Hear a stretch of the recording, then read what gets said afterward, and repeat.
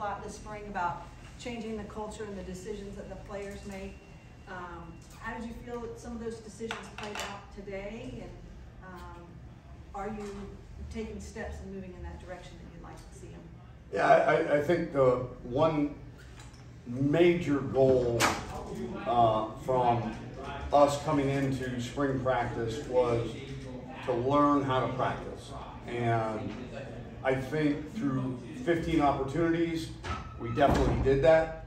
I hope uh, the people here that have seen previous teams have seen uh, a change in physicality, a change in effort, and a, a change in you know just the ability to, to love each other, to play for each other, to put yourself aside and play for the guy next to you. And I, I really do believe we, you, you've never arrived by, by any stretch, but I, I think the message is loud and clear, and I think the guys are really, really trying to live that culture every day, and it, has been been fun to watch. Tom, uh, obviously these spring games don't really mean everything, but what can you take from these sort of performances and take from this kind of game and that can carry over to fall? Nothing. I mean, uh, it's it's just another practice. I mean, we're, we're going to grade it uh, the same way we grade any practice, any scrimmage. And I, I, say nothing. I'm obviously joking. Every day matters, and every rep matters. But to say that this day was more important than Thursday, that, that that's not true. Uh, this day was had the same importance as, as any day in our program. And that is when, when you come to work, when you come, we only get them four hours a day for 20 hours a week during spring ball. In the off season, only eight hours a week. And so when, when, when they walk in this building, I think the, the culture has, be, has begun to form where they understand the urgency, the attention to detail, and really just the, the level of intensity that's necessary every single day when you come in uh, to prepare yourself for a championship. Now, it, you could certainly come in and not be as intense or intentional and not stay and, and do the extra stuff, and, and that's fine. That that's, but that's what average teams do. And you know the good thing around here is you know, Albert Einstein defined it very um, succinctly. The definition of insanity is repeatedly performing the same act, expecting different results. And so, after two years of five and seven, I think these guys are ready for change, and they're they're ready to do things differently. There's some that uh, were hesitant, but I think we've got most of our guys really believing in, in the way that we do things. Hey, Coach, let me take this question slightly off the football field where you could ride the wave of the Final Four, where a lot of people got Florida Atlantic in the national realm. So, how much would you ride the momentum about the positive publicity you get in an effort to bolster football recruiting, knowing that this is not only a basketball school, but a, potentially a good football school, and you're stepping up in conference as well? I didn't know we were officially a basketball school yet. Well, no, I'm just saying, but the riding the wave of the momentum of yes. the Final Four. That's where I was going. But I, I know. No, uh, it was great. It was fantastic. I, I cannot tell you the amount of excitement our guys had for the run that, that our basketball team had and to be there for the Elite Eight game and the, the Final Four was a a really special experience for me and my family. But also, I think it was a great example to our team that this is real, guys. Like going to New Year's Six games, you know, 12 team playoff, uh, playing for uh, an opportunity to play in the playoffs, winning conference championships. That is real and that is attainable at FAU, one of the most beautiful campuses on earth you know, located right here in Paradise, it, it is something that can absolutely be done here. And I think our guys not only are proud of our basketball team, as am I. But I think they've learned a lot and, and have kind of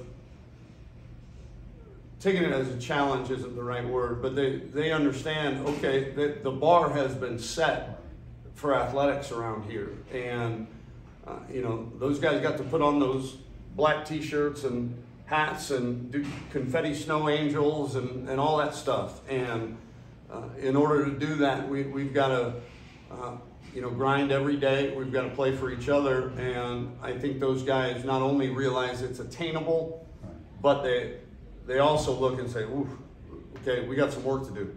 Well, you're smart enough to know it can only enhance recruiting anyways. Oh yeah, Re- recruit any any publicity is good publicity, right? And and when you're going to the Final Four as a nine seed from FAU, uh, formerly in Conference USA, now in the American Conference, uh, you know that. Go ask our admissions department how much uh, admissions has gone up, and go ask the bookstore how much gear has been bought uh, more than in March's past or April's past, and so it just really enhances the entire university, the the public perception of our university, and you know certainly helps uh, monetarily with all, all the money uh, that is generated from such a deep you know run in the NCAA tournament. Coach, you saw Andy Richardson put, put up a great performance with his three passing. What's that? I'm sorry. Uh, you saw Andy Richardson uh, put uh, a great performance with his three passing touchdowns. What are your thoughts on how he and the other, other quarterbacks played today? I thought all all the quarterbacks played well. I really did. Uh, Daniel uh, was fortunate; he he found the open guy, uh, and you know, again, I think playing quarterback is uh, is a lot, not not just a lot. It's almost everything about it is taking what the defense gives you. We can't call the defensive plays. We can't even guess. We can um, game plan and we can have um, probabilities, but at the end of the day, when the ball is snapped, you got to play what the defense gives you. And I, I think Daniel did a really good job of that, of finding the open guy, finding uh, his read in terms of what the defense dictated. But I thought Ben and Tyreek, excuse me, Ben and Tyreek really, really played well um, themselves. And so uh, this is going to be a, a fun summer. I think it'll be very competitive in that room. But I think, like Daniel said, those guys really, really enjoy being around each other. You know, Mike Johnson will be thrown in that fray in the fall, and so, but they, they're friends. They compete. Trust me. They, they, they, they, they all want to be the starter. They all do. But I think the really cool thing is when you hear them coaching each other, and they want to be the starter, but they also know that if they can help the guy next to them get better, that they're going to do it. And it's been really, I've been a lot around a lot of quarterback rooms, and this is about as good a one as I've, I've been around. Coach, it seemed like that the, the running backs found a lot of open holes. I know the offensive line has part to do with that, but guys like uh, with Hammond and Mobley and, and Kobe, it seemed like they really just kind of stepped up. Can you kind of talk about the running back room a little bit? I I have been very, very, very happy with the ability and depth at that position for us. Uh, um, to have three guys like that in that room that could probably go play anywhere in the country is a blessing. And they're all great young men. They're all really, really hard workers. Uh, Kobe's, you know, kind of the elder statesman, so he's a, a bit of a leader in that room. But man, I, I've never, I've, I've never been around. I mean, we, we had Bijan and Roschon uh, and Keaontay Ingram at Texas a few years ago. That that was a pretty, pretty good one, two, three punch. Uh, but this one's pretty special too. And for those three guys, and I think they all realize that in this day and age, you know, tho- those guys, as, as much as they want to be leaders and as much as they want to be the focal point, they also know that for their long-term durability, it's good to have a, a guy or two that can come in and take some of the load off you because, you know, I, I believe that, you know, God only puts, puts a certain amount of carries on every running back. And so we've got to be judicious with those carries, the types of carries for each guy, but having the ability to, to spread the wealth over three different guys at that position, uh, we're, we're, very fortunate. Tom, uh, right here, uh, Dimitri uh, Hester and Omar Hayes, a couple of them good plays. What have you seen from them throughout camp and what do they add to that wide receiver? Oh, they're fun to be around. Those, those guys have tons of personality, and you know they, they just keep getting better every practice, every day. This was obviously the most production they've had thus far, and I think part of that was because you know we are so deep at wide receiver that the opportunities have been you know, few and far uh, between for those two guys, but they've made the most of them. And then today, when they had the opportunity to, to play whatever it was 40, 50, 60 snaps, uh, they made the most of it then too. So th- those guys are getting better every day, and they're, they're, they're definitely going to help us this year. Coach, Coach. uh, uh, you can go. Appreciate.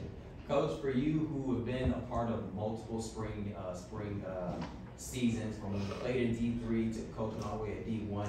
Why'd you have to remind me of that? I We didn't even have spring ball in Division Three. I, I didn't either, so I understand Yeah. now. I was working to pay my, pay my Still tuition. working, Yeah. uh-huh, in the cafeteria. So you understand what it's like on all levels. If you had to give this team a grade of Oh, how they performed in, in spring, what would you give and why? Man, I, we are such a work in progress. I, I don't, I don't know. I don't know. There, there've been days when there's A's, and there's been days that were F minuses. um, so I, I think it'd be unfair right now. I understand the question, but I, I enjoy being around this team. That's what's important to me. I really, really like being around these guys. I like being around their work ethic. I like being around their drive. I like being around their um, their intensity. These guys love football. They really, really love football, and they've got a lot to learn, but we've got a lot to teach them too, and that's our job. We're just really high-paid teachers. That's our job, and to, to give them a grade at this point, I think would be unfair, but to, if you want me to tell you whether I thought the, the spring season was a success or not, the answer is yes.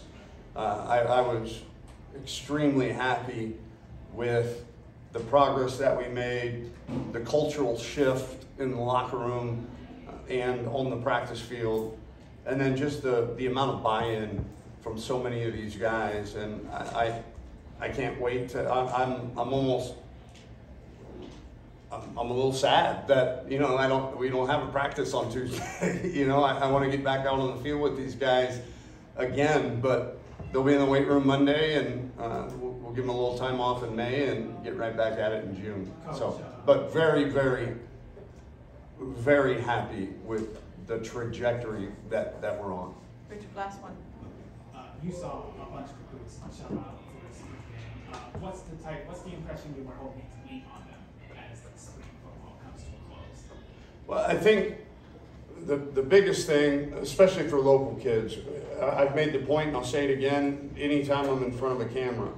We need to make sure that the young men, especially from Dade, Broward, and Palm Beach County, understand that we are their hometown Division One college football team, and we want them to take a lot of pride in that, take a lot of pride in staying at home, uh, or at least close to home, and playing around their family, their friends, and really making a national name uh, for FAU, much like our, our basketball team did, but uh, with local guys. And, you know, we, we, we did uh, something very similar at the University of Houston, and we're planning on doing it again here. And, but I think the really cool part is that outside of those three counties, which is obviously our, our focus, but throughout the state of Florida, the reception, the attractiveness to these young recruits from our school, our location, the quality of education,